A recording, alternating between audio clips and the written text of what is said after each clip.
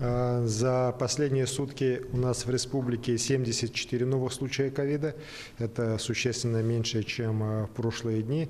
Э, И из этих 74 67 – это город Якутск.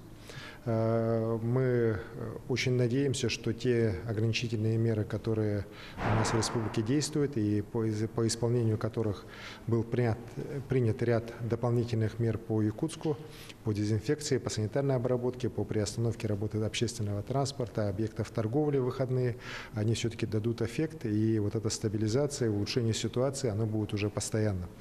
Э, Хочу также сказать, что у нас за сутки выздоровело 37 человек. Э, У нас тоже растет количество выздоровевших, это тоже положительная, хорошая динамика. Э, С 1 июня у нас полностью снят режим карантина по Чаянгинскому месторождению.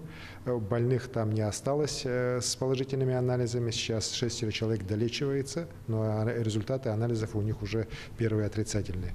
За все время свыше 8100 человек было вывезено авиакомпанией «Якутия» и «Газпром Авиа» с Чаянгинского месторождения.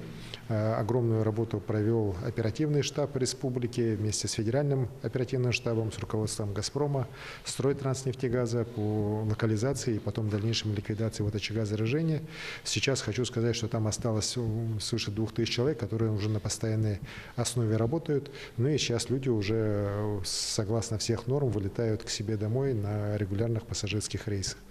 Э, В целом хочу сказать, что ситуация по другим районам, она у нас остается э, в целом спокойной, но есть ряд районов, в которых достаточно большое количество больных именно рабочих вахтовых поселков.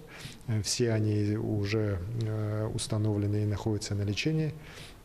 Э, По нашим сельским территориям вот особое наше бес- беспокойство вызывает ситуация по Намскому и Меганокангаласскому районах, где э, достаточно большое количество э, у нас больных, но вместе с тем мы уверены, что и там очаги заражения будут полностью все локализованы, и в ближайшее время мы там тоже будем видеть уже положительную устойчивую динамику. Спасибо.